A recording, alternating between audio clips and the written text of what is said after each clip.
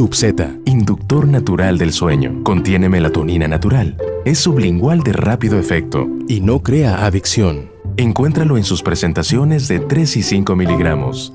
Mejor duerme. Subzeta es de Medix.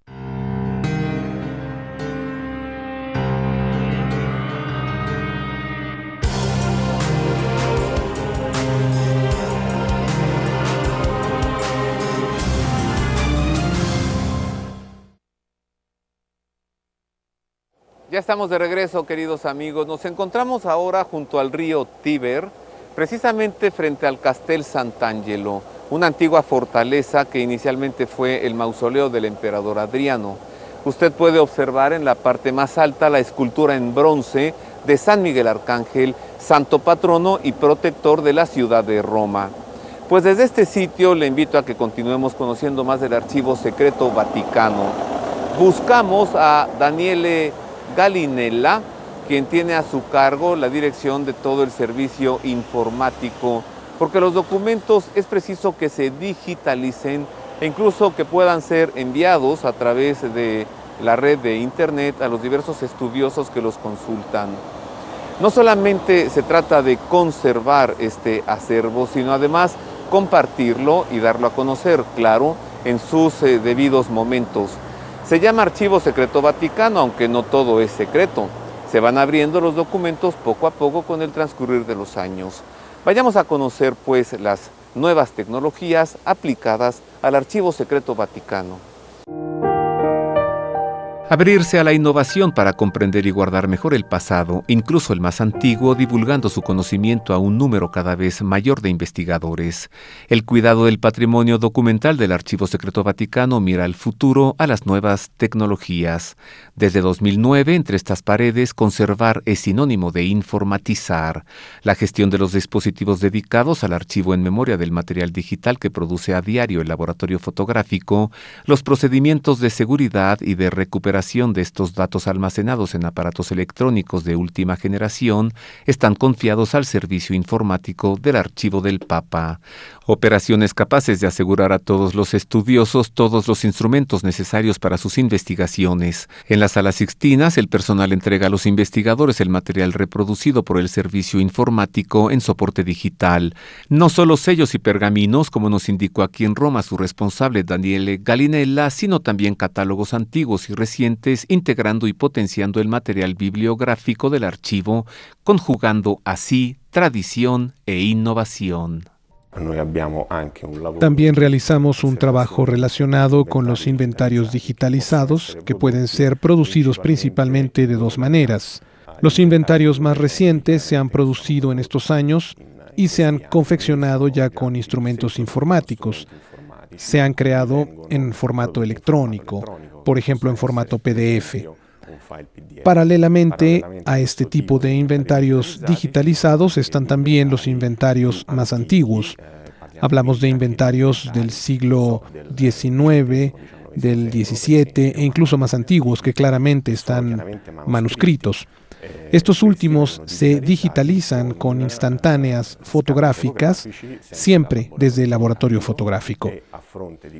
Las tecnologías informáticas prestan otro servicio al archivo de los papas, proporcionando a la Escuela Vaticana de Paleografía, Diplomática y Archivística un instrumento indispensable para formar a los alumnos en las distintas disciplinas de las que se componen los cursos anuales y bienales.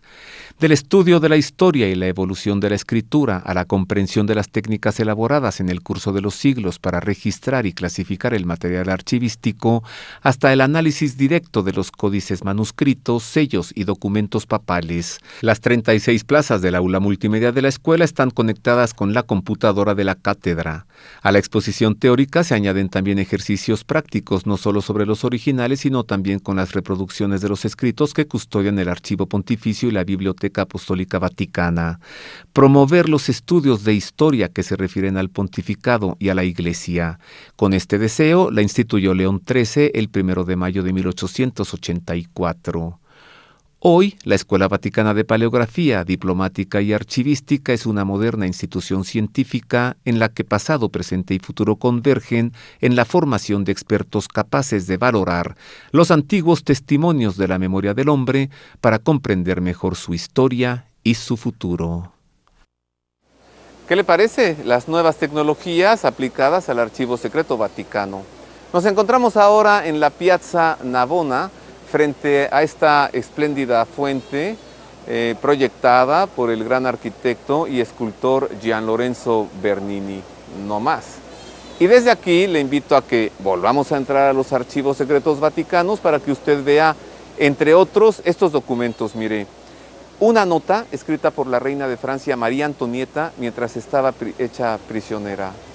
Una carta dirigida por el presidente Abraham Lincoln de los Estados Unidos al Papa para presentarle a su embajador el proceso seguido contra la Orden del Temple y los Caballeros Templarios, y además la bula de excomunión de Martín Lutero.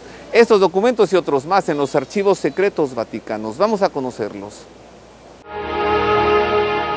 Un fascinante desfile de personajes y páginas de historia. En esto consistió la exposición Luxin Arcana, el Archivo Secreto Vaticano se revela, ubicada en los Museos Capitolinos durante septiembre de 2012. Un acontecimiento histórico sin precedentes que llevó fuera de las fronteras de la Ciudad del Vaticano pergaminos, manuscritos, registros y códices que abarcaron un arco temporal desde el siglo VIII hasta el XX, escogidos entre los tesoros que desde hace siglos conserva y protege el Archivo Secreto Vaticano. Cada uno de los documentos expuestos estuvo acompañado de explicaciones multimedia para ayudar al visitante a encuadrar el documento en el contexto histórico de referencia y profundizar en la historia de los personajes vinculados a él. Así nos lo explicó el prefecto del Archivo Secreto Vaticano. La exposición nació por el deseo de celebrar los 400 años de actividad del moderno Archivo Secreto Vaticano, fundado por Pablo V en 1612. En 2012, pues, se cumplía este centenario y queríamos celebrarlo dignamente. En un primer momento pensamos instalar la exposición en el Vaticano, pero las ubicaciones no se consideraron practicables, tampoco para la seguridad de las numerosas personas que presumiblemente esperábamos. Así elegimos los museos capitolinos, tanto por un vínculo histórico con el papado, el gobierno de Roma sobre la ciudad, como por la capacidad de las salas, sobre todo la seguridad, con una vigilancia en funcionamiento día y noche. Quisimos celebrar en el centro de Roma este aniversario que se interpretó como una apertura del archivo para manifestar sus tesoros. En realidad se trata de una apertura al gran público porque los estudiosos conocen ya desde hace tiempo nuestros tesoros. El visitante, al comenzar el recorrido en la sala de los Orazzi de los Curiazzi, pudo admirar las actas del proceso de Galileo Galilei, un documento de pago autógrafo de Gian Lorenzo Bernini, la carta que Abraham Lincoln escribió a Pío IX para acreditar a su embajador ante la corte papal y una corteza de abedure en la que los indios de América escribieron a León XIII, definiéndolo como un gran maestro de la oración. En el Palacio de los Conservadores, la exposición continuó con siete explicaciones temáticas. En la sección Reinas y Cortesanas, por ejemplo, se conserva la carta de Isabel de Austria a Pío IX y un billete escrito por María Antonieta en la cárcel, mientras que en herejes, cruzados y caballeros estuvieron expuestos, entre otros, el proceso a los templarios de Francia en un rollo de pergamino de 60 metros de largo, la excomunión de Martín Lutero, el sumario del proceso a Giordano Bruno.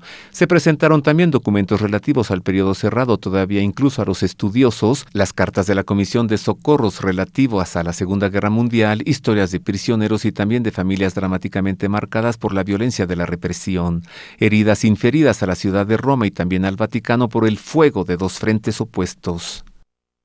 Pues todos estos documentos, queridos amigos, eh, no basta con tenerlos, es necesario mantenerlos. Y para ello se requiere de importantes procesos de restauración, de restauradores profesionales que además los cuidan, los mantengan. Nos encontramos ahora instalados frente a la iglesia de Santa Inés en la Plaza Navona de esta ciudad de Roma. Vamos a conocer enseguida los procesos de restauración y de mantenimiento de todos estos documentos contenidos en este acervo de historia y de cultura que son los archivos secretos vaticanos. Alta tecnología y un minucioso cuidado para las frágiles páginas de la historia. Hemos tenido la ocasión de conocer el delicado y atento trabajo del Laboratorio de Conservación y Restauración del Archivo Secreto Vaticano visitando la exposición Luxina Arcana en los museos capitolinos. Nacido en 1958 y perfeccionado en 1982, aunque desde 1884 había un encuadernador en el archivo, tiene el cometido específico de proteger el patrimonio documental de los agentes de degradación química física, biológica o ambiental. Hoy el laboratorio cuenta con ocho restauradores y un técnico para la realización de envases de conservación de cartón para cada una de las unidades archivísticas. Así nos lo explicó Alessandro Rubecchini, responsable del Laboratorio de Conservación y Restauración de este Archivo Secreto Vaticano. Eh, Tenemos aquí cuatro grandes fondos archivísticos. Uno es el búnker, inaugurado por Juan Pablo II a principios de los 80, que cuenta con 43 metros lineales de estanterías. Y además hay otros tres grandes depósitos de conservación. En total llegamos a 84 kilómetros lineales. Además, para los documentos más preciados, hay dos salas climatizadas con temperatura y humedad constantes. Allí custodiamos los documentos más delicados y más valiosos.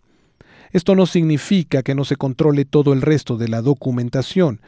Tenemos siempre una monitorización constante de nuestros fondos para poder ver si hay problemas, si se están produciendo degradaciones y así intentar prevenir, además de las operaciones de restauración para los grandes archivos como este, es muy importante la prevención, tanto porque evitamos que los documentos se degraden, como desde el punto de vista económico, porque prevenir cuesta mucho menos que intervenir en operaciones largas de restauración.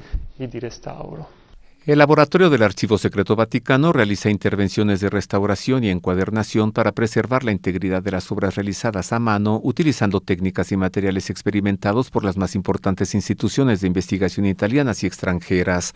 Cuando fuimos a visitar la sede estaban en cuidado algunos documentos de los registros de Aviñón, los documentos sobre los registros vaticanos y algunos pergaminos. Variados son pues los materiales y las técnicas de intervención.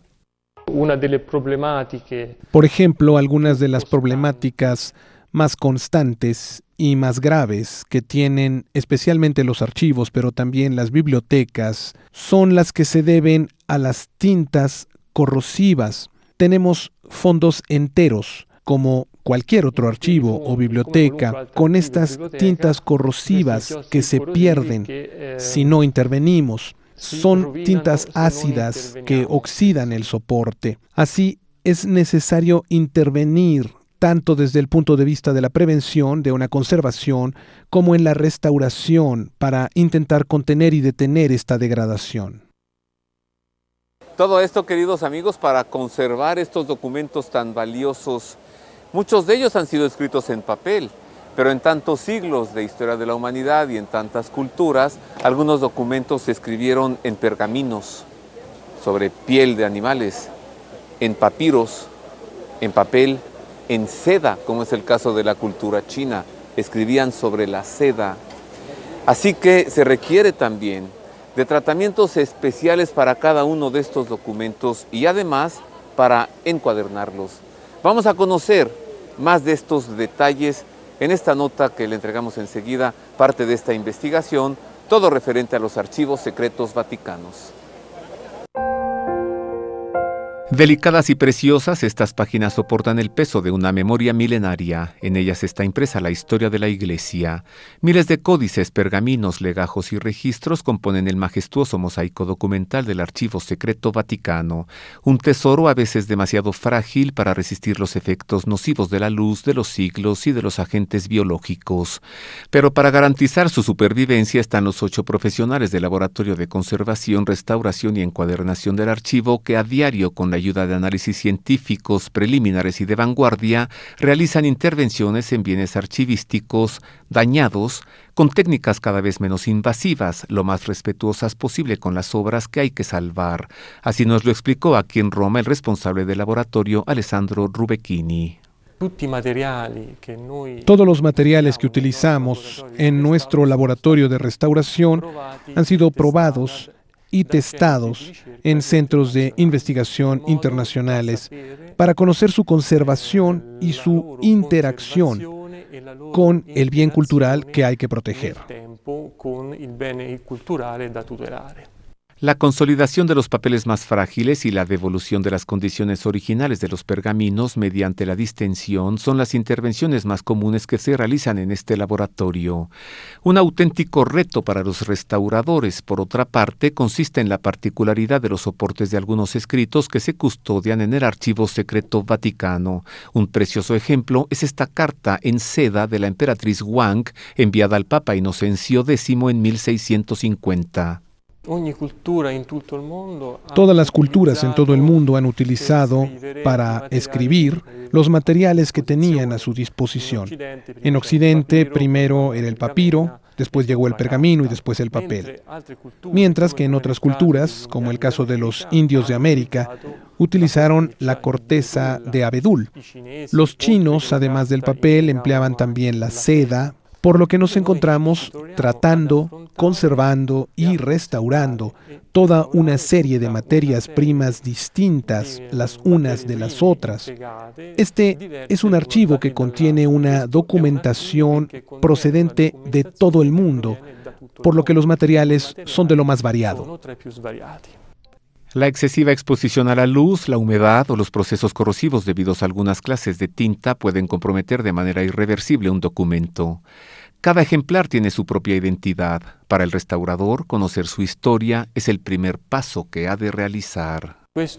Este es un archivo que ha recogido no solo la documentación de la Santa Sede, sino también la documentación de otros archivos, como los de las nunciaturas de todo el mundo, o también archivos de familias nobles.